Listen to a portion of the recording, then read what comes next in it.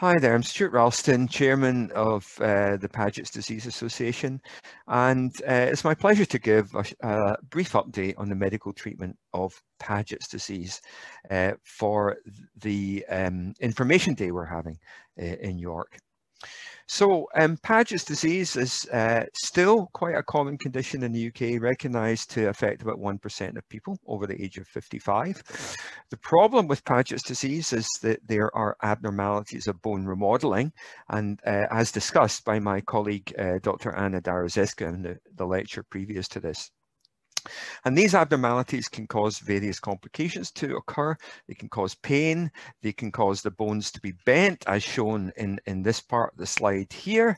And they can also cause fractures as well as other complications. However, many patients with Paget's disease have no symptoms at all. We still don't quite understand what determines who gets symptoms and who does not. Now, um, this was a study which my colleague and I, Adrian Tan, did um, a number of years ago, about uh, eight, um, yeah, seven or eight years ago, looking at the symptoms that patients presented with when they first came to our clinic. Um, in fact, pain was the most common symptom. 73% of patients had pain, but about 17% had deformity, about 25% had signs of osteoarthritis or wear and tear arthritis, about 5% had a fracture, about 7% had deafness, but about 20% actually had no symptoms when the condition was picked up uh, as an incidental finding, often because of blood tests or x-rays done for another reason. now, pain in Paget's disease is the most common reason for patients attending their doctor. It can either be due to what we call metabolic activity of the Paget's disease or other causes. Now, pain due to metabolic activity usually responds to bisphosphonate treatment. However, other causes do not. And therefore, it's important to define the cause of the pain so uh, that doctors can give the correct treatment to their patients. No point in giving a treatment that's not going to work for the symptom. Now, I've shown this slide to really summarize the causes of pain. There are some causes of pain that are related to Paget's disease. I've already alluded to the fact that increased metabolic activity can be a cause of pain. Uh, usually patients with that have a raised alkaline phosphatase level or a raised ALP, and that often responds to bisphosphonate therapy. However, deformity of the bones can cause pain. That's clearly related to Paget's. If you have osteoarthritis around a joint, that's due to Paget's. That can cause pain. Things like fractures, spinal stenosis when the spinal cord uh, uh, gets uh, uh, um, damaged or when the spinal cord actually gets um, compressed by pagetic tissue or, or nerve compression. Of course, there's lots of uh, causes of pain in people with Paget's not related to Paget's. For example, wear and tear in the discs, osteoarthritis in joints distant from where Paget involves, uh, fractures, fibromyalgia, so ligament strains, things like polymyalgia, things that can affect anyone, whether or not they've got Paget's disease. now, a lot of causes of pain. There is also a lot of things that can make pain worse. And I'm sure many of the audience have experienced this. You know, if you're feeling anxious or depressed, that can make pain feel worse. If you're undergoing a traumatic life event, so can that. If there's physical or mental abuse or psychological stress, all of that can make perception of pain appear worse. And many of us, I think, have experienced that throughout our life. Now, here's some examples of causes of acute and chronic pain in Paget's. Well, on the left is a cause of acute pain. That's a fracture through a bone affected by Paget's disease. And this was a patient of mine when I was working in Aberdeen who suddenly uh, uh, was walking out of shop, heard a crack in her hip and developed sudden pain. And it was due to a fracture. Chronic pain can be due to deformed bones as a result of Paget's disease, as shown on this slide, on the right-hand part, part of the slide, or osteoarthritis second to Paget's disease. So this is a hip joint affected by um, osteoarthritis and the rest of the pelvis is affected by Paget's disease. That's quite a common complication. now, we've been doing a study in Edinburgh funded by the Paget's Association called the PIP study, the pain in Paget's disease. And here I'm just showing some preliminary results looking at what the causes of pain were or the proportion of patients that had pain. So in fact, Um, the, the, most common cause of pain was osteoarthritis not related to Paget's disease. So patients had wear and tear in the joints, but not in uh, a joint uh, near a bone that was affected. In about 13%, the cause of the pain was thought to be deformity of the bone. In 17%, so that's just less than one fifth, it was thought to be due to metabolic activity. And in 9%, it was thought to be due to OA related to Paget. So that's osteoarthritis next to an affected bone. Finally, uh, about one in five patients had no pain uh, at all. And we're analysing, uh, we're continuing with this study and hope to have the results presented towards the end of next year. Now, I've mentioned metabolic activity uh, being a cause of pain, but in fact, many patients with increased metabolic activity don't have pain. And here I'm showing information from the PRISM study. and we divided patients into those with a high ALP, so that's increased metabolic activity, and a normal ALP. And the proportion of patients with pain is shown in red, with no pain is shown in green. And what you can see, high ALP, well, about 55% of patients had pain, but actually about 40% of patients with high ALP had no pain.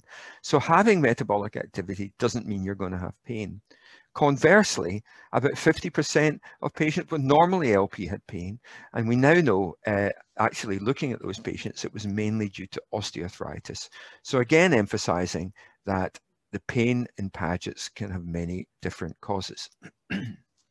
now, there are various drug treatments we use for pain in Paget's disease. If it's acute pain, if you've a fracture, uh, you will need uh, analgesia or painkillers, often strong painkillers like opioids, anti-inflammatory drugs. With chronic pain due to Paget's, bisphosphonates are commonly used, but as are analgesics and anti-inflammatory drugs and nerve blockers like gabapentin, amitriptyline, and duloxetine, and so on and so forth. So there's quite a lot of treatments that can be used. If I just spend a moment on bisphosphonates, uh, as I mentioned, Professor Graham Russell is going to be talking in more detail about bisphosphonates. But this is a slide from a clinical trial in which Paget's was treated with bisphosphonates. And it was a study of Ian Reid um, from uh, New Zealand, and it was a follow-up study by David Hosking, who's a former chairman of the Paget's Association. So the initial study is on the left hand of the slide. Patients given the bisphosphonate risedronate um, are shown in the red squares, zoledronic acid in the blue squares. And on the vertical axis is alkaline phosphatase levels. And what you can see is prior to starting treatment, the alkaline phosphatase levels or ALP levels were very high in both groups. But with the bisphosphonate, they went down pretty impressively, uh, both with risedronate and with zoledronic acid. In fact, zoledronic acid was significantly better than risedronate in helping the pain. Uh, the effect, this is 182 days, um, lasted for up to 24 months in this study with uh, zoledronic acid, tended to relapse a little bit with risedronate, uh, uh, but both of the drugs are very effective in treating metabolic activity in Paget's. When it came to pain, um, the effects were definitely there, although perhaps less impressive than the alkaline phosphatase level. I, am showing in this slide what's called data from SF36, it's a measure of quality of life. If the bars are going to the right-hand side of this vertical line, that means it's a positive response. The bars that go to the left, that's a negative response. The thing I'd like you to focus on is with pain, bodily pain, both risedronate and zoledronic acid did have a positive effect uh, on pain. And that's a very important indication for treatment with bisphosphonates. Now, there's a curious thing about bisphosphonates and pain, and this was from a, a follow-up study, again by Ian Reid, um, who looked at the long-term effect of zoledronic acid and risedronate in pain. so what I'm showing here is the alkaline phosphatase again. This is the start of the study, and then the patients get followed up for many years, like up to 72 months, so that's almost six years. And what uh, uh, Reid and colleagues found was zoledronic acid, that's this line, the effect in the LP really persisted pretty well in those patients remaining out to five or more years, with a slight relapse uh, with risedronate, although admittedly even risedronate was lasting quite a long time. The interesting thing was with zoledronic acid, even though the biochemistry, in other words, the ALP remains suppressed, about 10% of patients had what we call a clinical relapse. And so what I mean by that is their pain uh, worsened again, even though the biochemistry uh, was normal. And, and again, emphasizing the fact that pain in Paget's is a complex symptom. Now, what about non-drug treatments? I've, I've mainly focused on drug treatments, but there's a lot of stuff you can do that doesn't involve uh, drugs. There can be mindfulness, peer support, clinical psychology, occupational therapy, physiotherapy, things like TENS and acupuncture. And finally, surgery, for example, a joint replacement. And I'm not going to talk about that in detail uh, because Nav Makaram, uh, our orthopedic surgeon, uh, will cover that in his uh, talk. But just to mention, it's not just about bisphosphonates or medical treatments. There's a lot of other treatments that can be used. so one of the things that has been of interest to uh, people like myself working in the area of Paget's for years is should you try and treat the fact that patients have a high alkaline phosphatase level, even though they might not be having any symptoms, should you try and treat that? And um, I did a trial, or me and my colleagues did a trial uh, a number of years ago, started in 2001, to ask the question, well, what if you try and treat a high alkaline phosphatase? Is that beneficial? So here's the timeline. The idea was developed in 1999. The trial was funded in 2000. First patient enrolled 2001. Final visit in 2006. And it, it's the largest study ever done in Paget's disease, involving many hospitals, many doctors, and many nurses across the UK. And so what um, uh, the trial, uh, the PRISM trial stood for is Paget's disease, randomized trial of intensive versus symptomatic management. So we enrolled uh, 1,300 patients, 663 got symptomatic, 661 got intensive. And if it was symptomatic, we only gave treatment if there was bone pain, uh, whereas intensive, we we treated the alkaline phosphatase. So in other words, we had treatment whether or not bone pain was present.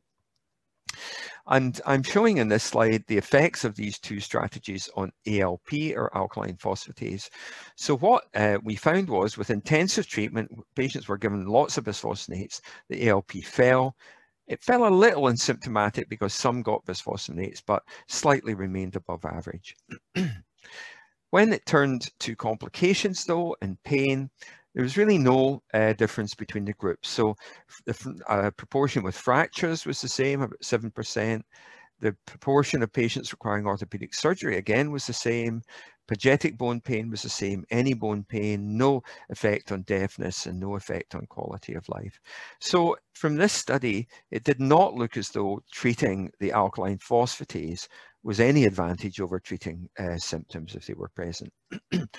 we did follow that up with uh, an extended study called PRISM EZ, and it was PRISM, uh, except we used zoledronic acid, which I've just mentioned in the last slide. It's a very potent bisphosphonate. So a similar design, fewer patients went into this, 502. And again, we either give symptomatic treatment only if bone pain or treated the alkaline phosphatase. And what that study showed is with regard to fracture, orthopedic surgery, there was no difference between the groups. And in fact, intensive treatments increased the risk of fracture by about 1.9 fold and surgery by 1.8 fold, although that wasn't significant. And we had more adverse events, SAEs, about 28% more. And there was, these are the adverse events seen um, arrhythmia, non-union of fractures, subtrochanteric fractures. So having this intensive treatment really wasn't very uh, any beneficial really. And uh, there was really no benefit in terms of uh, a slight, a minimum benefit in terms of pain, but only at year two and not seen at the other years. So again, this really was the same as the PRISM study intensive treatment really is of no benefit. So that um, was uh, mentioned in the, the clinical guideline, which the association supported, published in 2019. We think that bisphosphonates are recommended for the treatment of bone pain and Paget's with zoledronic acid as the first choice. But we do not believe, or at least there's no evidence as yet, that giving bisphosphonates with the primary aim of suppressing ALP is of value. And so basically, the adage I use is treat the patient, not the ALP value. so um, can we do better? Uh, perhaps in patients in the PRISM study, it was too late. And uh, some of you know we're doing another study just now called the ZIP study, in which we're looking at people uh, who are children of patients with Paget's who haven't yet been diagnosed Paget's, but who are genetically at risk of getting Paget's because they carry a, a gene mutation in a gene called sequestosome 1. So this is the design of this ZIP study. We've enrolled people with a family history of Paget's who haven't developed Paget's. We genotype them for SQSTM1, and if they're positive, we allocate the people into getting zoledronic acid, the drug you've heard about, or placebo, and we're following them up. Now, this study should have ended in 2020, but COVID intervened. It should have ended in 2021, but we haven't quite managed there. But we think it, by the end of 2021, we will know the answer. And the question is, can we prevent Paget's by genetic te uh, testing? And it's a double, what's called a double blind trial. So some get dummies, some get the real stuff. We're looking at new Pagetic bone lesions, so-called, and we're looking at pain and quality of life and biochemistry. so I'm showing here um, the what the baseline characteristics of patient in the ZIP study looked like. Uh, we enrolled 222 patients in total, slightly more women than men. The average age of participant was about 50. And in fact, about 9% of people had signs of early Paget's disease, but in fact, none of these people was symptomatic. None of them had any pain related to Paget's. And um, uh, lesions were slightly more common in men, um, and people with lesions were slightly older than those with no lesions. So the ZIP study is going to be an interesting study, um, and we will know then if treating patients early on uh, with bisphosphonate is going to be of clinical value, although we don't know it yet. So watch this space. so in summary, um, there's many causes of pain in Paget's disease. Uh, you, if you've got Paget's disease, you have to be carefully evaluated by the doctor that you see uh, to determine if the pain is due to the Paget's disease or another cause. And if it is, then bisphosphonates can really help that pain. Um, at the moment, we do not advise uh, just treating the ALP just because it's high. So if someone, uh, if a doctor advises that, I think you have to ask, well, is it going to do me any good uh, if you have no symptoms? And finally, uh, but it is a task for the future, is possible early intervention with those at risk of Paget's disease may hold the key to preventing complications because they do still occur. And the ZIP study will hopefully um, help to answer that. So I hope you found that interesting. Unfortunately, there may not be uh, time for questions at the end of this uh, video presentation, but uh, you never know, we might organize a QA session with the speakers of uh, the information day uh, if, if members of the association would find that useful. Thank you.